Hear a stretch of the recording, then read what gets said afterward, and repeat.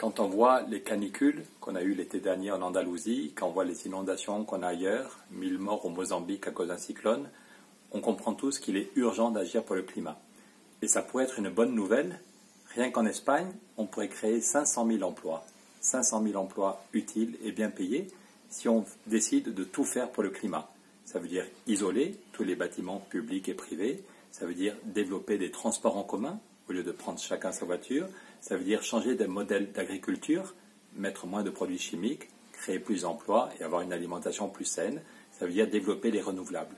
Plus de 500 000 emplois possibles en Espagne. L'Espagne a déjà une stratégie très ambitieuse avec Pedro Sanchez, Teresa Ribera. Mais maintenant, la question dans tous les pays, c'est comment on le finance. Aucun pays d'Europe n'arrive à financer tout seul la transition, alors que jamais il y a eu autant d'argent au niveau européen. La Banque centrale européenne crée plus de 80 000 millions chaque, chaque mois.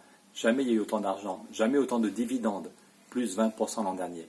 Donc avec ce pacte finance-climat que soutient Joseph Borrell, que soutient Teresa Ribera, qu'on soutient en France, que soutient Paul Magnette en Belgique, on veut changer l'Europe et mettre cet argent au service du bien commun. On veut mettre la finance au service de l'emploi, du climat et du pouvoir d'achat. Une maison qui est bien isolée, chacun de nous va économiser 800 euros chaque année. En même temps, le climat et la justice sociale.